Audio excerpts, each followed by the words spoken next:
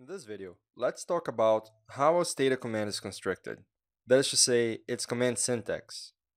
And to illustrate that, I have a small do file over here. This is just a very simple do file without comments, and you will have another do file with all the comments you need, lots of commented examples also, that you can download from this lesson. For now, let's stick to this simple command syntax over here. So the first thing I'm going to do is just execute these lines over here, all three of them, to clear Stata's memory, change uh, my working directory, and set the command more off. And I can do that by pressing Ctrl D. You can see it was executed over here. And now I'm going to use a data set that is online. Great, it's right here to the right. And we're going to use this data set to show you how command syntax works. So first, every time you use the help command, once again, let's execute this to see more about the command list. So every time you use the help command, you will have the title of the command, a brief explanation. It's a list, a list values of variables, and then it's command syntax. So this is what we're going to talk about now. So everything you see here in brackets is optional. So you have a variable list that's optional. You have if and in options. And then you have a comma, which is something you need to actually execute options, and the options are listed right here. So how does this work? First, you see the only thing you need to use here is the command itself, the command list. And you have an underscore under the L, meaning that you can abbreviate this command with just L. So instead of typing list, you can just type L and it's going to execute the command anyway. So let's go back to your do file here and let's see how this works. So I told you that you can execute the command list. Let's see what it does. You can see here it just lists all of the observations for all the variables that we have because we did not specify a variable list. Now we can go back to our do file and if we execute just L, so this is the abbreviation, the minimum possible abbreviation for the command list. Let's execute this. And it doesn't really matter if you're selecting white space as well. You can select as much white space as you want, even comments. So maybe you didn't see it, but we just executed the command L and the same thing happened over here.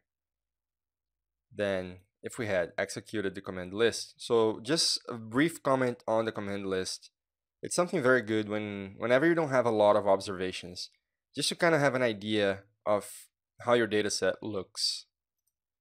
And going back to your do file editor, I can also use li, and we're going to use this abbreviation now, but now we're going to specify the variables we want to use. I have to select the whole thing.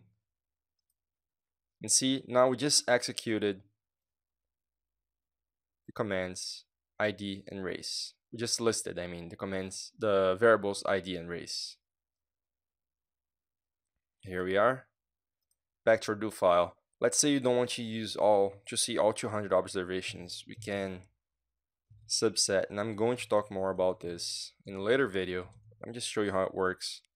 So let's list ID and race in 1 through 20. So I just want to see the 21st observations for ID and race. Let's list the, these over here. Here we are. See, we just use the command list. This is the variable list. And this here, going back to a syntax, would be an example of the in option.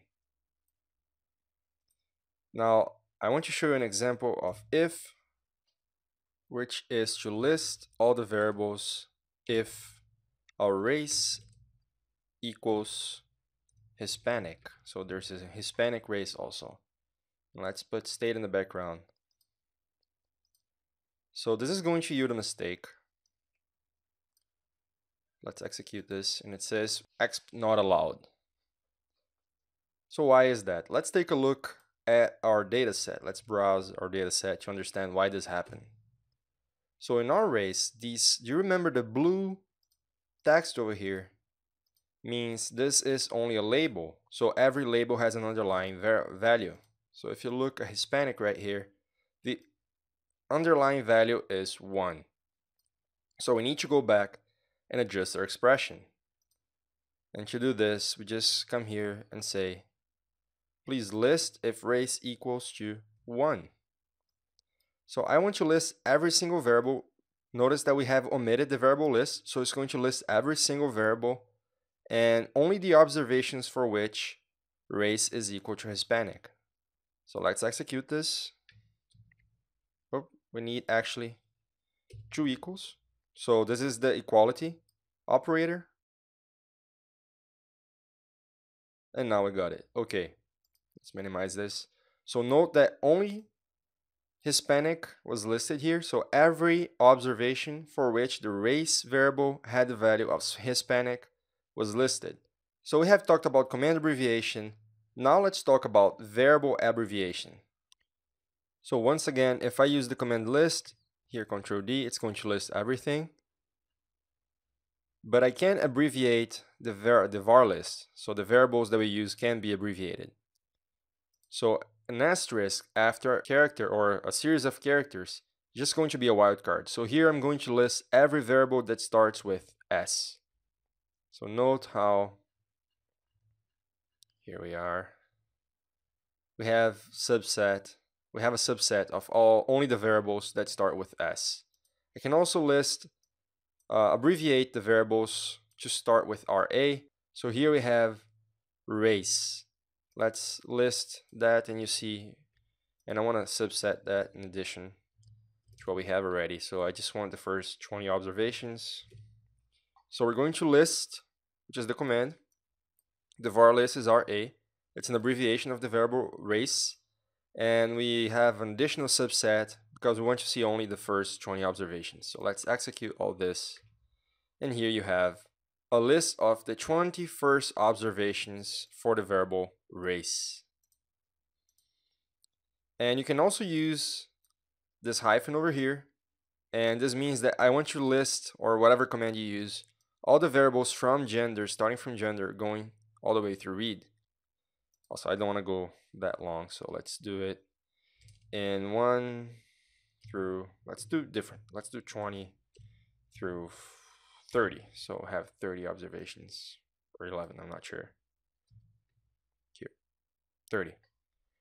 So we have just made a list, let's see, of all the variables from gender, mm, here, from gender through read. So there's, these are seven variables. Here you have one, two, three, four, five, six, seven, in 20 to 30. So we did from, here you can see, we started in observation number 20 and we went until number 30.